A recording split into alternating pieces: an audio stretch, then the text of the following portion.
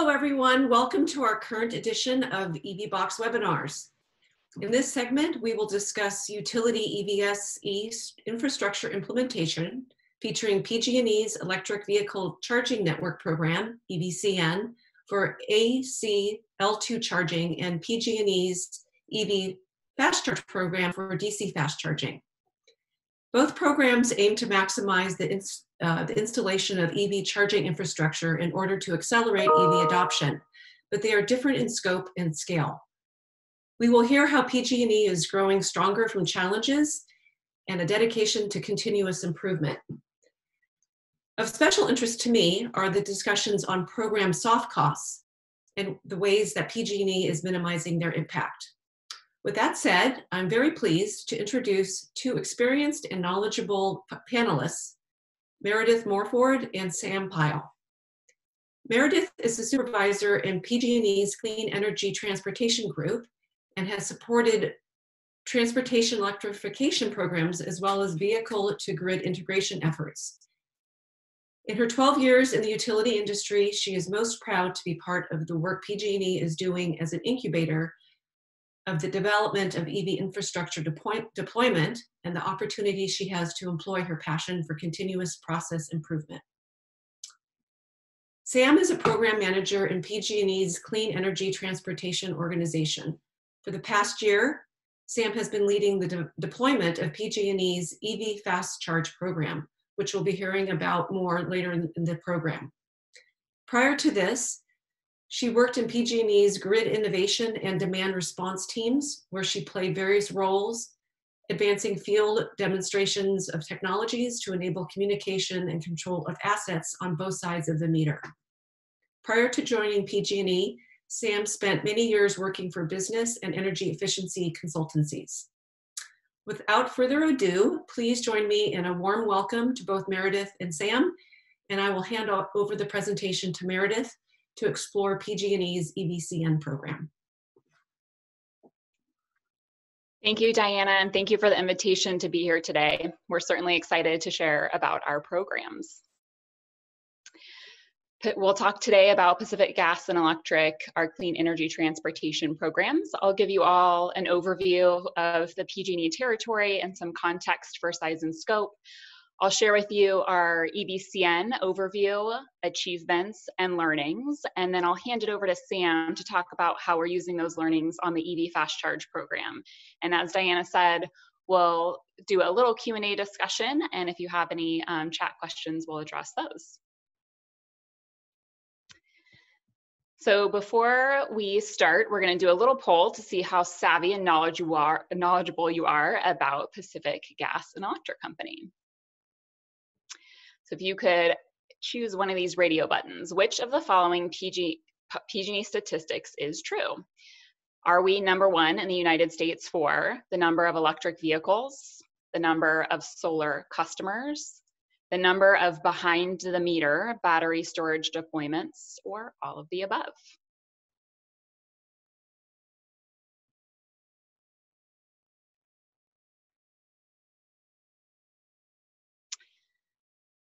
You guys did really well. Wow. Uh, all of the above was the correct answer. And We'll, we'll chat more about those stats on the next slide.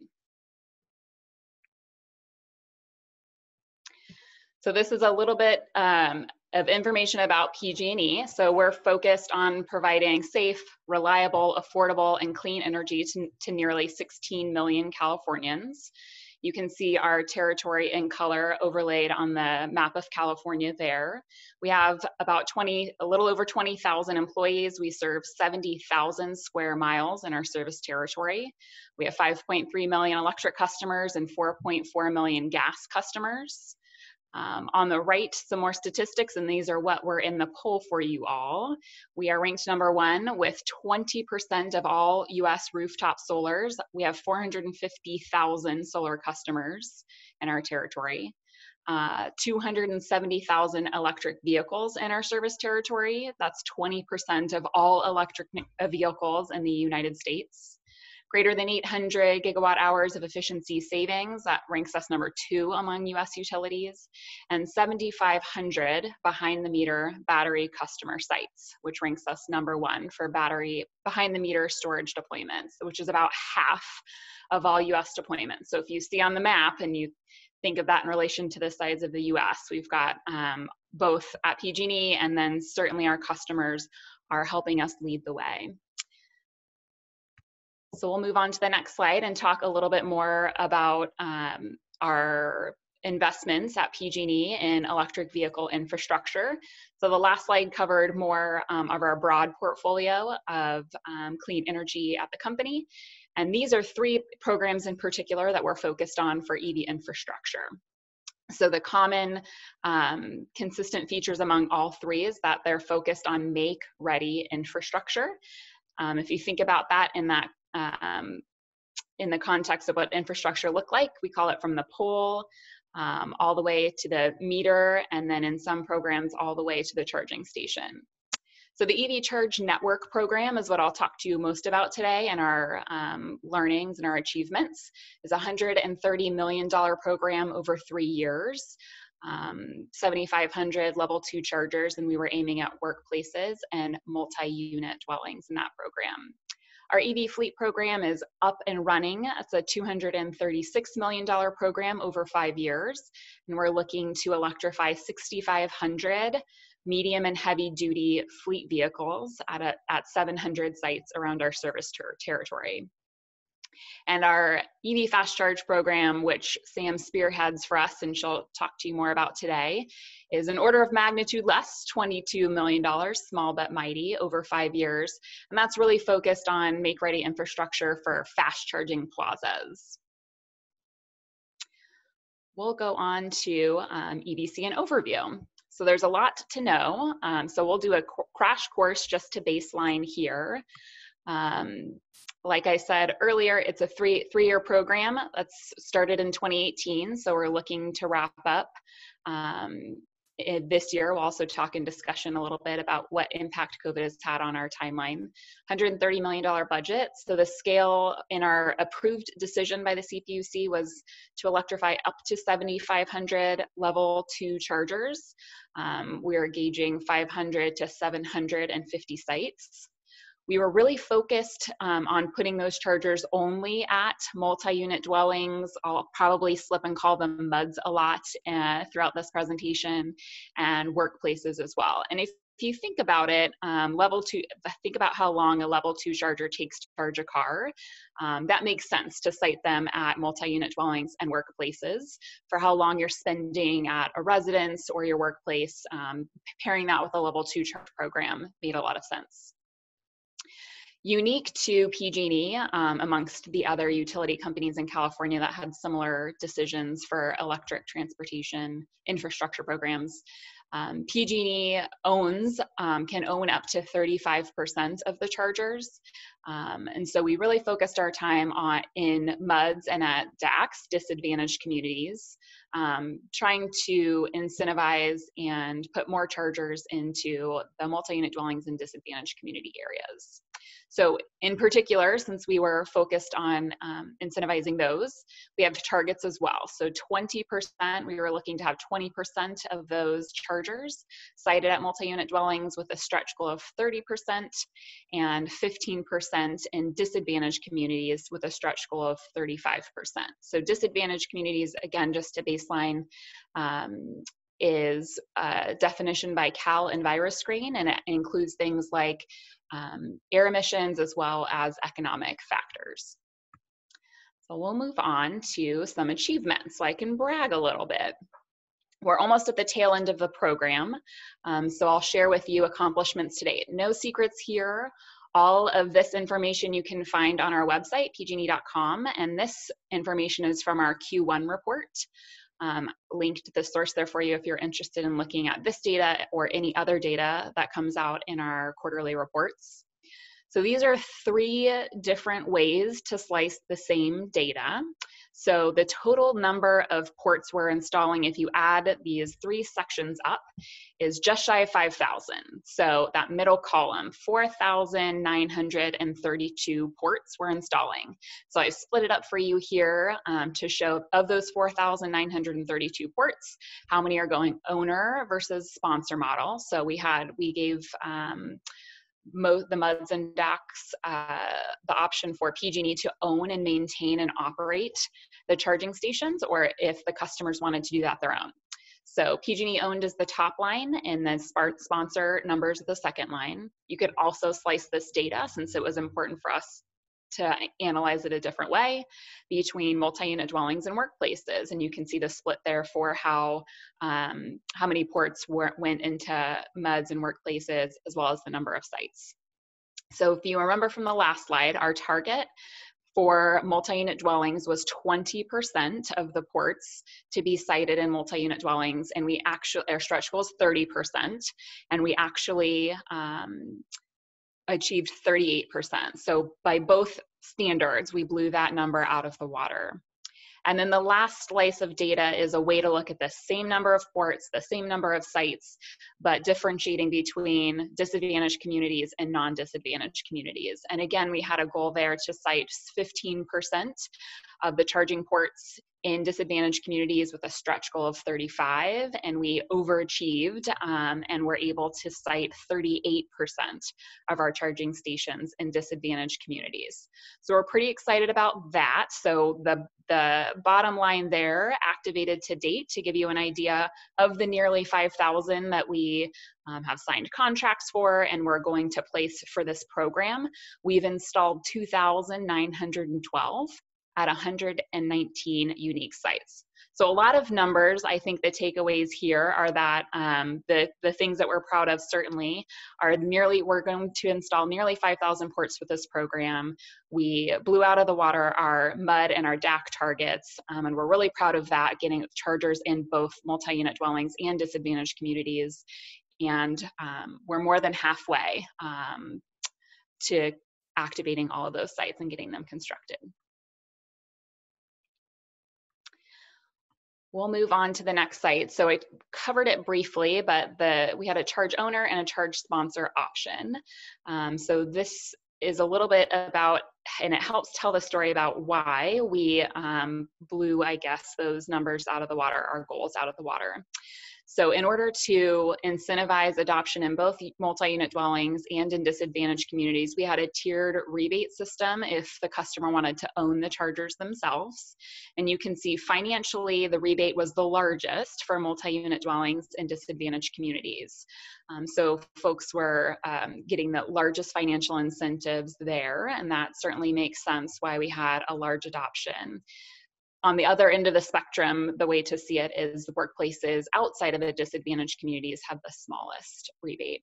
And then the bottom half of the page is if the customer chose the option for PG&E to own and operate and maintain the charging equipment, um, they paid us a sponsor fee. Um, again, multi-unit dwellings in disadvantaged communities, the sponsor fee was $0, again, incentivizing heavy adoption in that area. We'll move on to the next achievements I want to share with you, again, available in our Q1 report from 2020.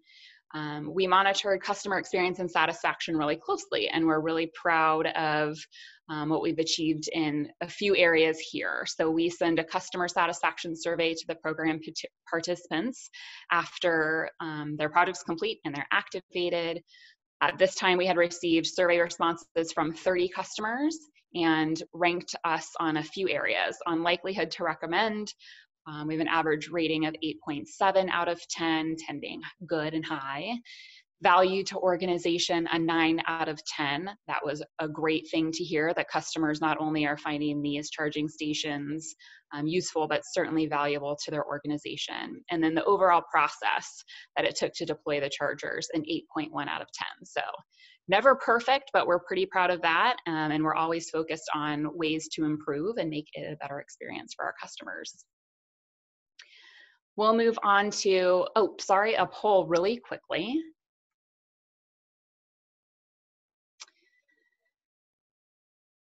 So it's important also not just to cite the chargers, but to have people use them. So um, wondering if you guys can get a good guess, like you did 88% right on the first poll question, the average spend per charging session for the EVCN program as of Q1 2020.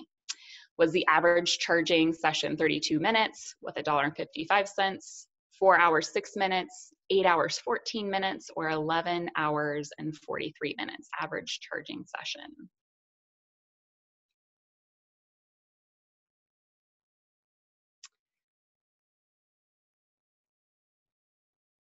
You guys are so good. Two thirds got it right. Four hours and six minutes with an average cost of $2.43 is the right answer. You guys are good today. So this is um, a picture of our aggregate, aggregated load curve for Q1 2020. So we took all the individual sessions throughout the day, um, each day during Q1 2020, aggregated them and put them on this chart for you. So cumulative numbers are showing here. So less of an eye chart.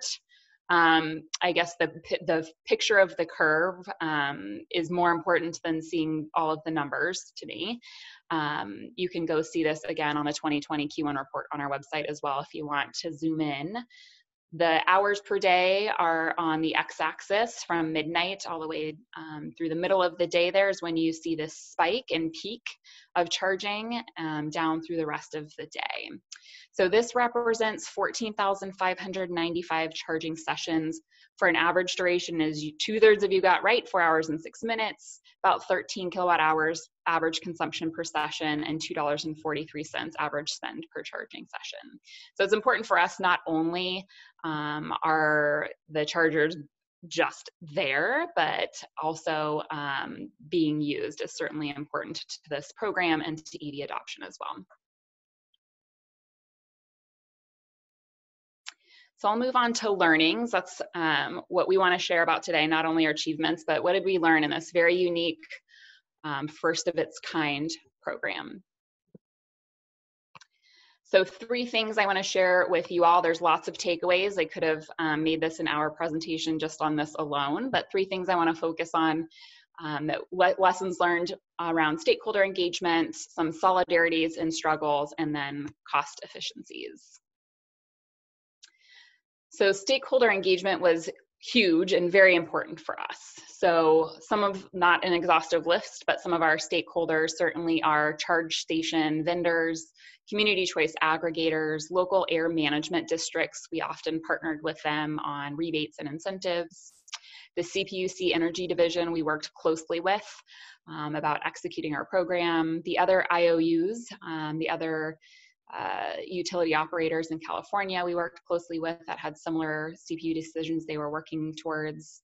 Um, local agencies, customers, of course, seems like the obvious one, and then property owners was a big stakeholder here. So, um, an, an, example, um, an anecdote of the stakeholder engagement why it was so important.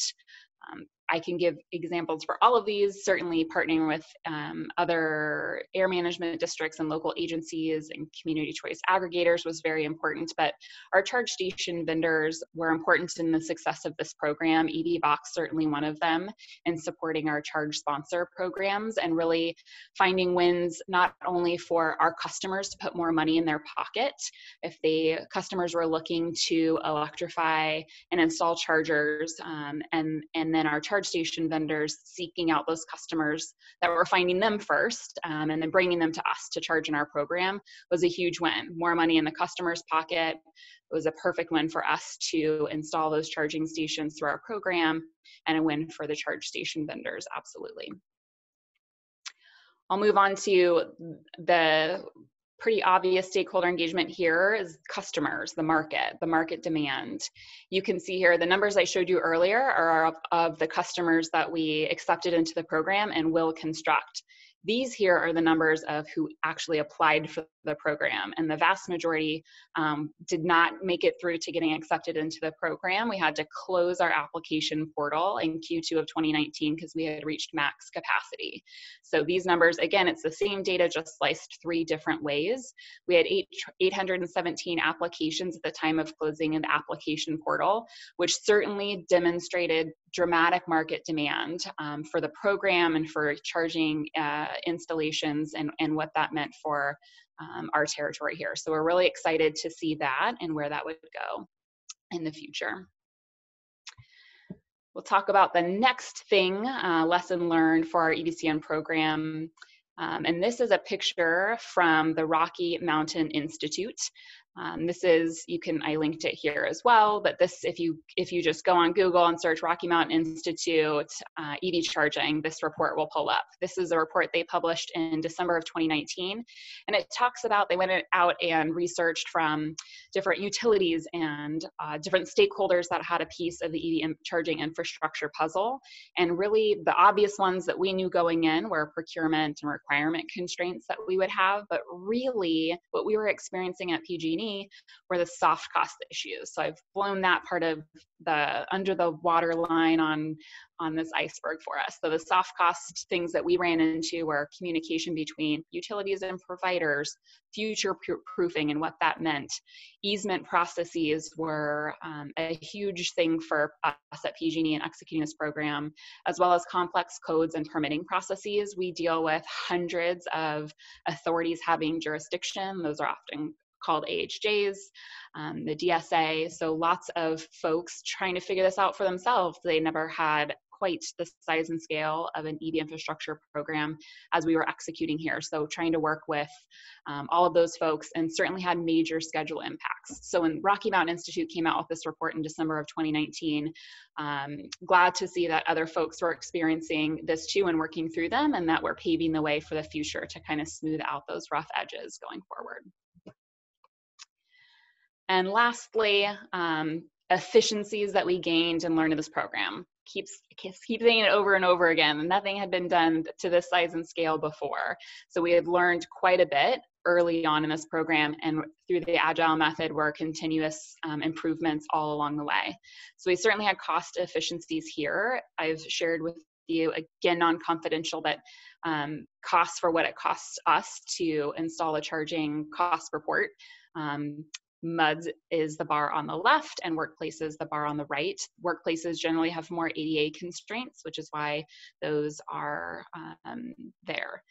So another thing to point out, wanted to share this picture with you. If you see the picture on the top with um, our PG&E fleet vehicle nicely charging in one of our very first uh, EV installations the EV infrastructure equipment you can see to the right of that picture is left to right, a distribution breaker panel, a step down transformer, and a meter panel.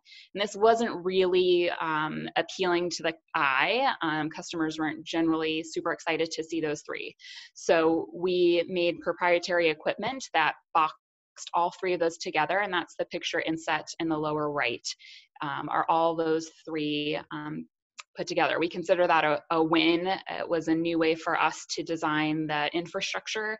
Customers were much happier seeing um, that aesthetic look instead of the three together. So a win-win all the way um, and really demonstrated our ability to, to pivot, listen to our customers and move forward. So with that said, I'm gonna pass it over to Sam Piell, who is going to share about our EV Fast Charge program. Thank you.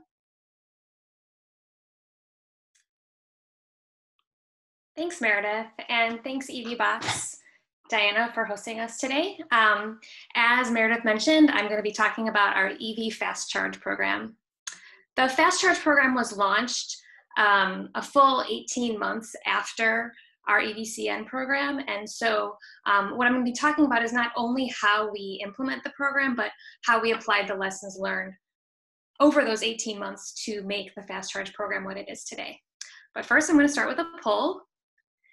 And the question is dun, dun, dun, What is the minimum KW to be eligible as a fast charger under the PG&E program? Is it 24 KW, 50 KW, 62.5 KW, or 100 KW?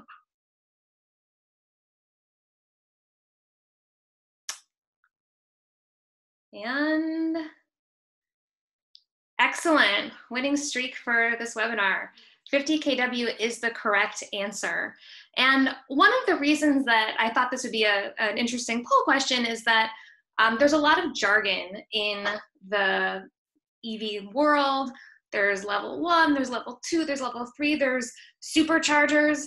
And um, if you go to the next slide, I'm going to kind of go over some of the program requirements. And 50 kW, we like to talk about it as that number and not um, fast charging by itself or um, any variety of level three because these numbers can get complicated. So, and just different places are using them in different ways. So 50 kW is the minimum hardware requirement for the program. Meredith talked about our budget being $22.4 million. Um, in the grand scheme of things, we recognize this is a tremendous amount of money, but relative to our other EV programs, it's actually quite small. So we call it small but mighty. And why is that? Well, the fast charge program is um, requires public availability 24 7 and it's for light duty vehicles.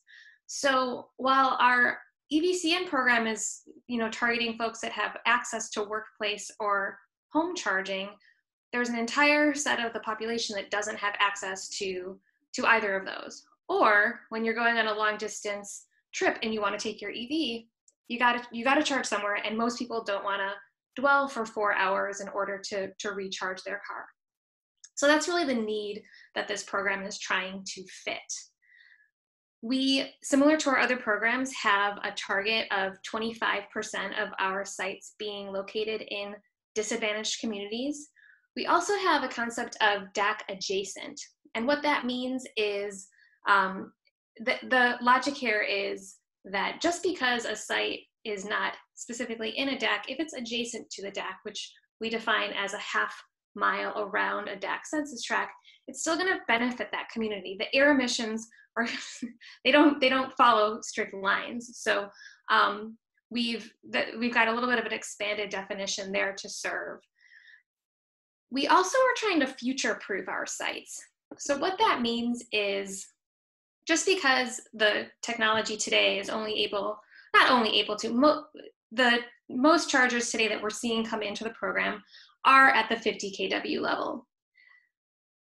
This technology is extremely nascent, so we expect that as time evolves, customers are going to be interested in swapping out their charger and putting in a faster fast charger. So what we're doing is building the make-ready infrastructure to accommodate up to 150 kW so that in the future, we're not going back and retrenching to, to make fatter conduit. It's all in the ground up front. And with this budget, we hope to be able to install at approximately 52 sites, which should translate to about 234 ports. These are all very rough estimates. The program, as I mentioned, just launched last summer, and we are just beginning our final design for our first sites currently. Caitlin, if you could go to the next slide so this image really it's and it's illustrating what the program is really doing and meredith talked about how we describe the make ready infrastructure going from the pole to the parking space. And so if you look at the slide it fills in those pieces for you. You've got the utility pole on the left hand side going to the transformer to the meter panel. Usually utility work we stop at the meter and it's the customer takes care of everything behind the meter. But for uh, our fast charge program, we are also covering all of the cost of construction and conduit, et cetera, all the way up to the charger itself. And then it's up to the charger, um, the site host or the EVSE owner to pay for the upfront and ongoing costs of the charger itself. Now, part of why this program is so important is that all of this infrastructure costs a lot of money, both the make ready infrastructure and the charger itself. So while we are um, paying for the vast majority of the cost, the charger, given that uh, fast chargers generally cost upwards of $20,000, they are, we're still expecting the customer to take on a pretty hefty investment. we do have a rebate for customers in disadvantaged communities of up to $25,000 per charger. In some cases, this can come close to covering the entire cost for ownership um, and operation, but um, it really depends. There's a vast uh, variety of, of chargers and different kinds of hardware and, and EVSP services out there. Um, let's move on. So now I'm going to go into some of the details of how we implemented, and this is where I'm going to be going more into the lessons learned with the implementation. Excuse me. So lesson number one, all sites are not created equally. What this is getting at is the fact of what Meredith was talking about, both the hard costs and the soft costs with uh, sites that we constructed in EVCN. So from a hard cost perspective, the same two chargers going into a site and onto one site can cost dramatically different from two chargers going onto another site. And that has to do with the fact that the make ready piece of this is all related to construction and construction, the costs vary. It can vary based on the distance that you need to trench between the transformer and the meter. It can it can vary because of ADA costs. So the Americans with Disabilities Act, all of our sites are kept up to code. And we often find applicants that haven't, you know, they're, they're either currently out of compliance or would take a lot of additional construction to bring them up to code. And so rather than taking customers on a first come, first serve basis, which is what we did with EVCN, we decided that in order to make this $22.4 million really go as far as we could take it, we wanted to be selective and really take the best sites that we could get. And so what you're seeing here is our application funnel. The way that we work the program is we've had solicitations for sites. So what happens is there's a solicitation window and the first step in that solicitation is getting a paper application. The paper application is pretty thorough. We're asking for site characteristics to understand things like, um, like I was mentioning about distance to trench between the transform and the meter. We're asking about the customer preference. Where do they want the chargers to go? You know, some retailers would love to have their chargers right at the front door, and some retailers are saying, eh, we don't want it to block our, our, our front door. So we're working with customers to make sure that their needs are also met. Um, we are also looking at, on the paper application, things like the amenities on the site. Uh, we want to make sure that customers or drivers out there are going to want to charge at these spots. So if we have our program and our the the PG&E fast chargers are all in just lousy locations, they won't get used, and that is critical to the success of the program overall is getting utilization. So we are looking at are there amenities nearby? Are there restaurants? Are there places to spend the 30 minutes that you're going to be waiting while your car charges? And is it safe? Is the, you know, if something's not open but for a couple hours a day, are there is there going to be enough foot traffic to help a driver feel safe while they're charging there? So all of this is getting looked at in the paper application we have a scorecard and score all of the paper applications against that scorecard. And then the top scoring sites move on to a phone screen. In the phone screen, we're talking to all of the key stakeholders, and I'm going to talk a little bit more about this later, but we're making sure that everybody involved knows what is the program about? What do we pay for? What do we not pay for? And what can you expect in this program? We don't want to uh, overpromise and underdeliver, essentially.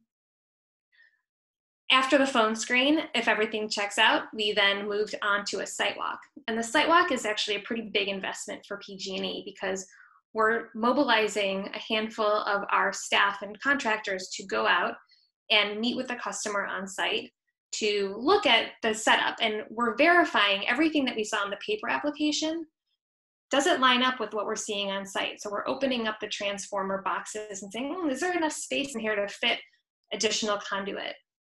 Um, is it constructible? Like sometimes there's just not enough space to cram in all of this equipment. So um, that's what happens on the sidewalk. And resulting from the sidewalk, we're able to get a much more fine fine view of what the site will actually cost to construct. So then the last step is the selection, where we are taking all of the inputs we have to date and specifically the cost, and we assess and see is this going to be a good fit, both qualitatively and quantitatively, for the program. And from there, we offer a contract. Um, another feature of this that we are kind of in the in the midst of right now is figuring out well when a, when a site doesn't isn't a good fit, how do we enable the EVSP community? How do we help our customers to move forward and find out like well what can we do? What are our options in the future? So we are also committed to providing feedback to all EVSPs with applications that are either not selected or waitlisted. And the goal here is we, you know, we want to be moving the market. If PG&E can't help you, there's other opportunities out there. We want to help educate and make more opportunities for EVSEs to go out there um, into our service territory and the world, to be quite honest. So um, thank you. The next lesson that I'm going to talk about is engaging with stakeholders early. But to get to that point, I'm going to walk us through kind of end to end what the what the process looks like for a customer. So um, the first two boxes, application siting and the eligibility assessment, are what I just talked about.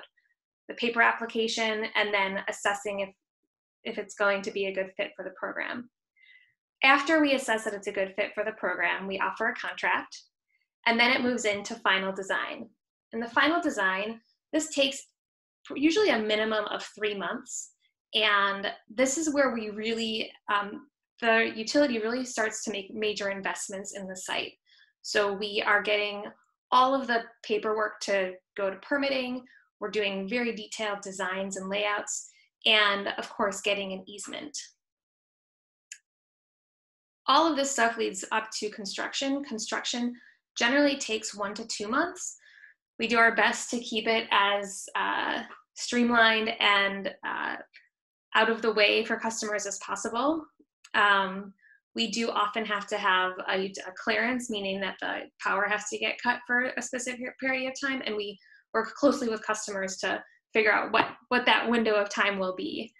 Um, there's lots of examples of that, specifically actually with COVID that we can talk about later, um, about timing clearances to make sure that things are gonna be as minimally impactful as possible. And then finally, after all the make ready construction is completed, we stub out the conduit and the site can be activated. And, in this phase is where the charger is actually physically getting installed and all the provisioning happens all the software setup is happening. And this is this is the customer's responsibility but we also do a lot of coordination to make sure it happens as closely to the time of construction being completed as possible. And then finally utilization. The fast charge program has a term of five years in which it is up to the customer to um, maintain the charger in a usable state uh, this is kind of the key to our contract if a customer is not able to own and operate that charger for the full five year term and keep it up and running, um, we do then basically prorate back the costs of the make ready that we have invested in. So, why is it important to engage stakeholders early? Well, if you look at these boxes one through six, boxes one and two, they take about usually on one to three months of time and in terms of investment, it's a it's pretty much like it's an investment, but it's nowhere near the level of cost and investment that we start seeing when we get to, to step three. So what we do in both the application and siting phase and the eligibility assessment is make sure that we have the property owner and the site host and the EVSE owner and anybody else who might be a decision maker related to the project in the loop on the phone to make sure that there's not going to be a surprise later. One of the lessons learned, I'm checking my time here, um, is related to easements. We have found that site hosts and specifically with retail spaces are not often often not the same as the property owner. So while most property owners see an investment in EV infrastructure as like two thumbs up for their site, it's going to increase the value of their property. You never know, and we really want to avoid getting into a situation downstream where we've done all this work and a project is a no-go because of a utility easement being required. And finally, our last lesson learned that I'm going to talk about today is leveraging existing relationships. And uh, don't go on Twitter for this hashtag of everyone wins. I just made it up. But basically, one of the things we learned with our EVCN program was that uptake can be slow, even when we're giving away what we think is a really valuable service. Customers don't necessarily latch onto it right away.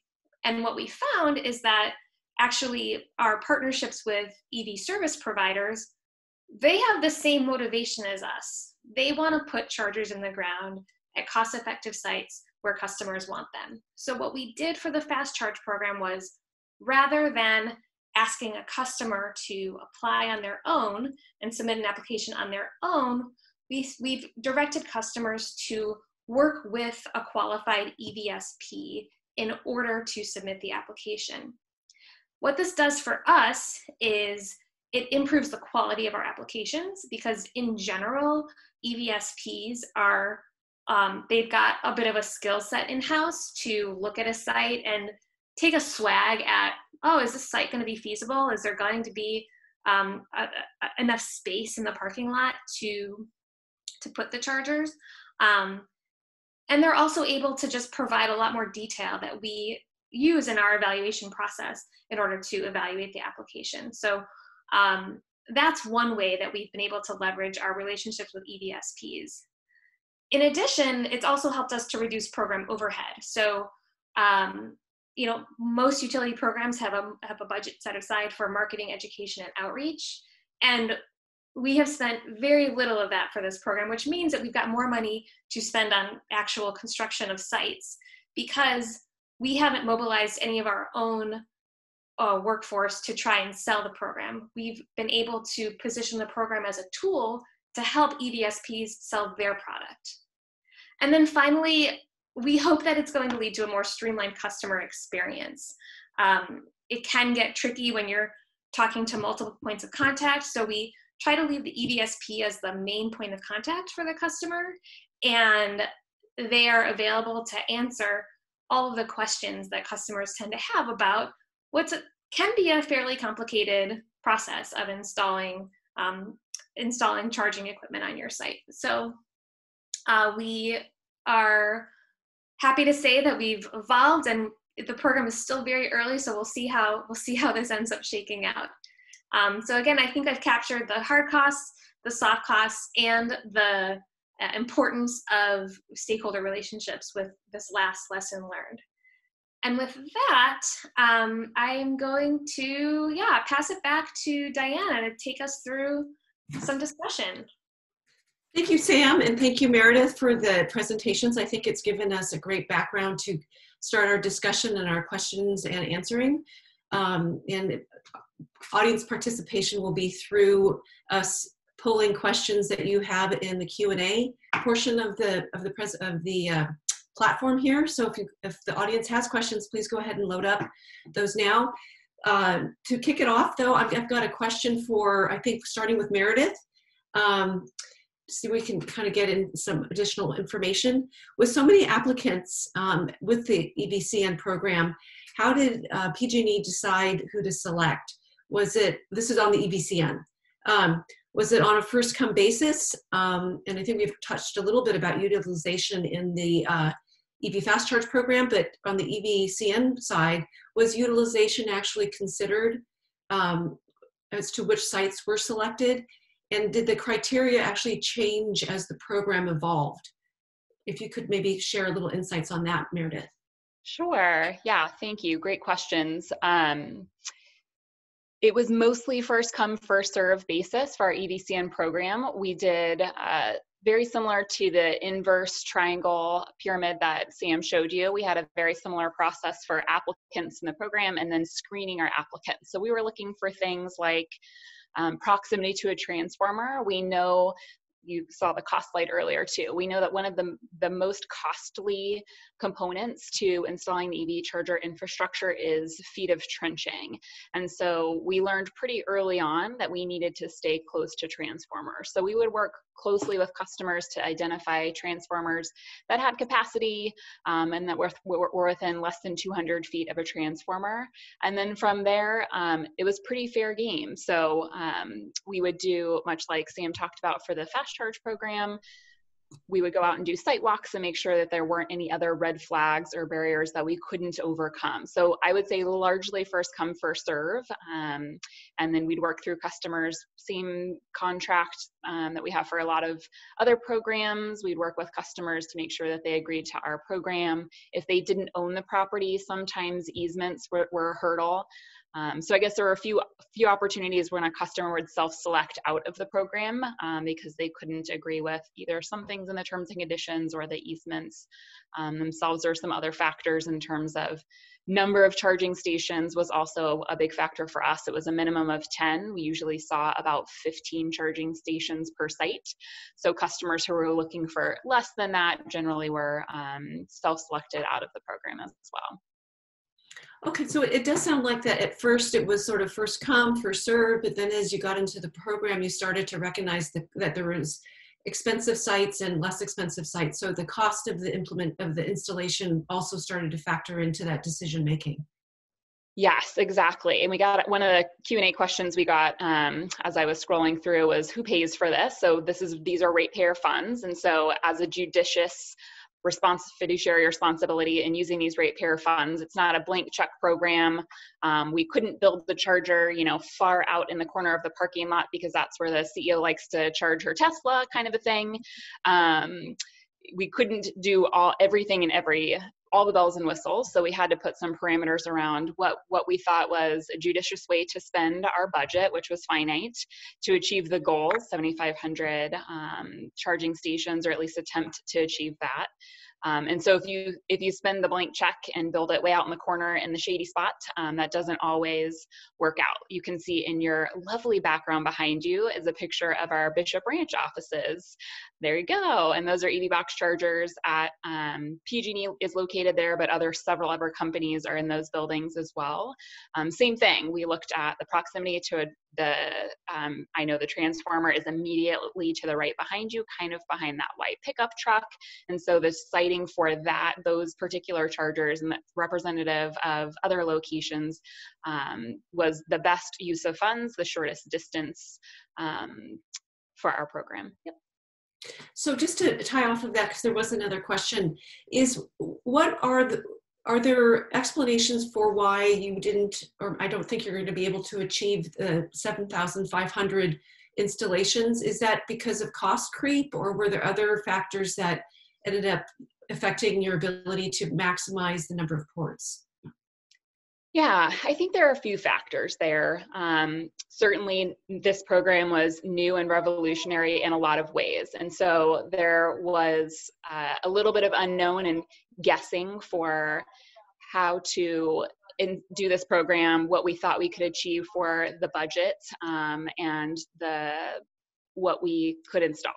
Um, and so we made a good educated guess at the get-go um, without having to having done a program like this before. There was a little bit of um, education right at the beginning, things that we maybe hadn't planned for. Um, there were also some environmental factors that happened in California that put cost constraints on market cost resources that we didn't have a lot of control over. Um, and so that inflated costs where we didn't quite expect.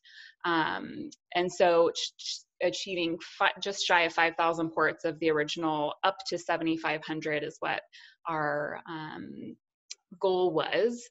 Certainly, cost was the major um, impact there. Uh, we would have hired more people and constructed all 7,500 if we could have um, had the budget to do so. Makes sense. Thank you.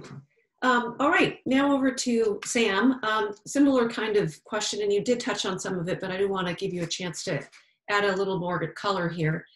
Uh, does PG&E require a business case for applicants in the DCFC program? Does the site need to demonstrate enough, enough electrical demand to justify the installation? If so, what are the requirements? That's a great question. So we don't require a business case. However, um, we think that if a customer is, they've got skin in the game with this program no matter what. And so in most cases, there, there does need to be a business case because why else would you want to do it? So, mm-hmm. um, you know, one kind of example business case that we've heard is, um, you know, we're a gas station. Gas is going to be, no one's going to put gas in their cars and we hope 20, 20, 30 years from now. We own this land. What are we going to do to stay relevant? So that's a typical business case. Um, maybe we can sell more soft drinks at our convenience store if we have more customers coming in. Um, so we don't, we PG&E don't require a business case, but we think that most customers will want to have one in order to justify their own decision to do it.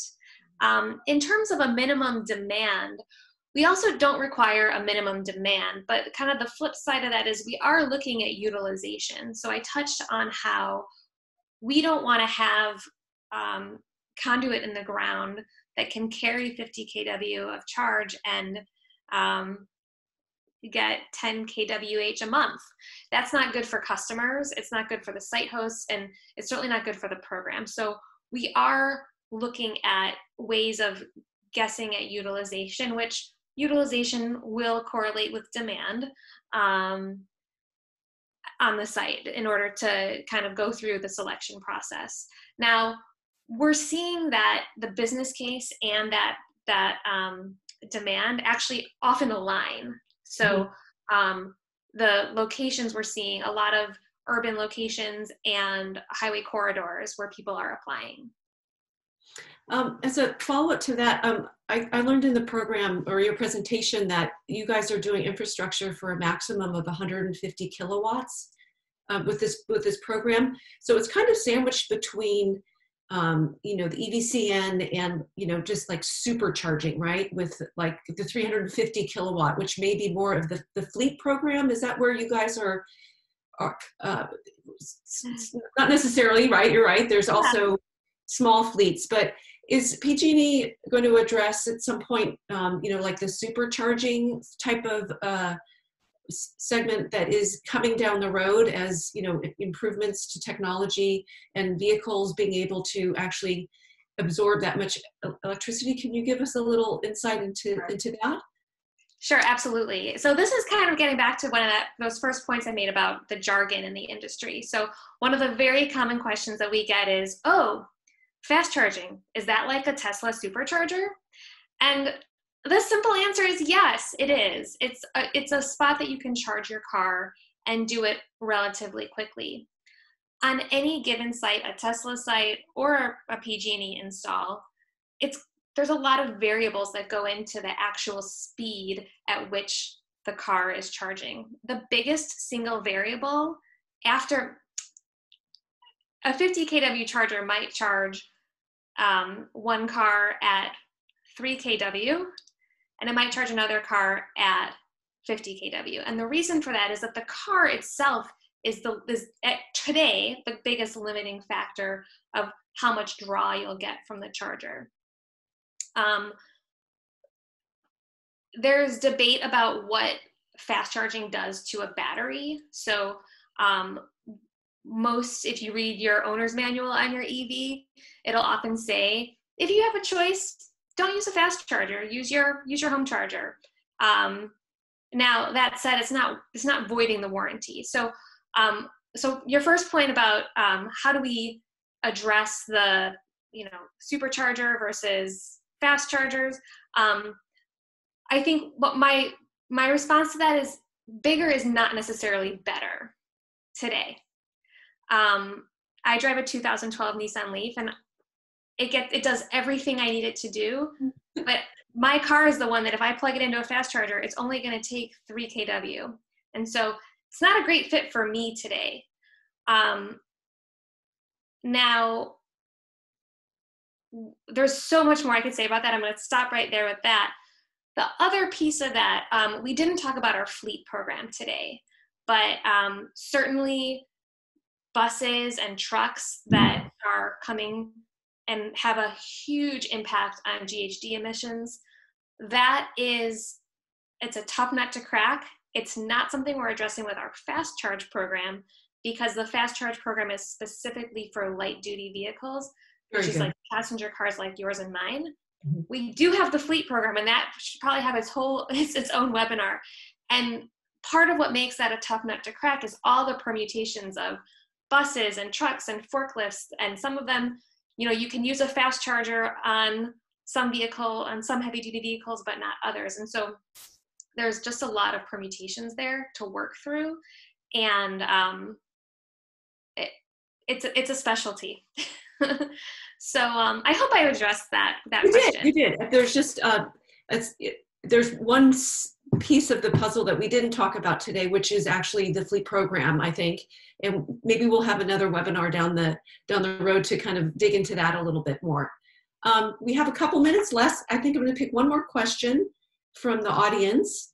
Um, uh, let's see, real quick. Um, where did the funds come from? We already got that one. Um, are there more funds coming for the EVCN program? We would like more funds coming. Yeah, cross your fingers. Um, the initial EVCN program was a pilot program. I failed to address that in this presentation. So it was a pilot program really demonstrating both the, the market demand was there um, and that, that we as a utility company could scale up and prove that we could support the demand in the market for EVCN programs. So we certainly um, intend to work with the CPUC and the Energy Division to make this um, a larger scale program in the future. Um, would love to see that. At this point, we're still waiting um, for the right time to ask for that and to work with the Energy Division. So certainly, I think we've both demonstrated both there's market demand for this program as well as the utility um, ability to support the infrastructure rollout. So we certainly hope, hope to to do this 10x of what we achieved in our EVCN program. Terrific. Okay, well, I want to thank the panelists, both you guys, for working with us to present this information to the market.